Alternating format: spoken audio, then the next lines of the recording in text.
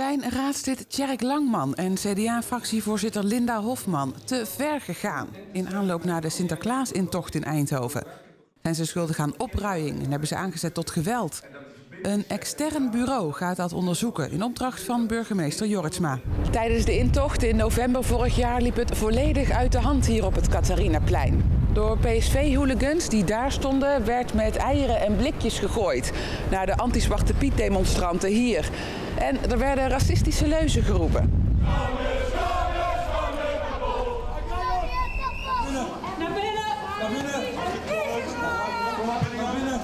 Namens Kick-Out Zwarte Piet werd er ook aangifte gedaan bij de politie tegen Langman en Hofman.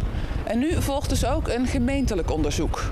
Hofman zou op Facebook hebben opgeroepen tot geweld door onder een post over de demonstratie in Eindhoven schubse, schopse te schrijven.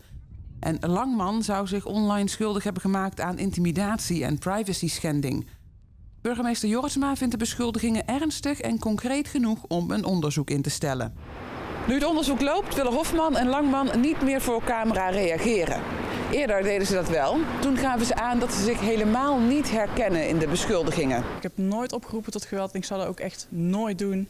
Dus ik heb er alle vertrouwen in, in ons rechtssysteem dat die heel snel uh, korte metten maken met zulke leugens. Schubse heeft ze helemaal nooit zo bedoeld, zei ze toen. Dat is een, een quote van Facebook die ze hebben gepakt, maar die ze totaal uit de context hebben gebruikt.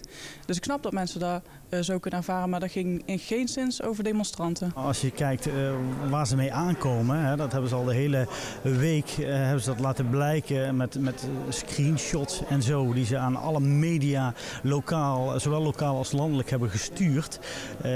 proberen ze mij te belasten, maar eigenlijk, daar staat feitelijk helemaal niets in. Ook burgemeester Jorritsma wil niet voor camera reageren vandaag.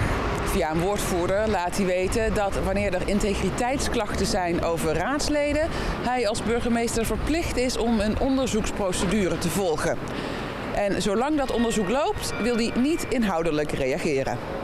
Als de uitslag van het onderzoek bekend is, dan beraadt Jorritsma zich op mogelijke vervolgstappen.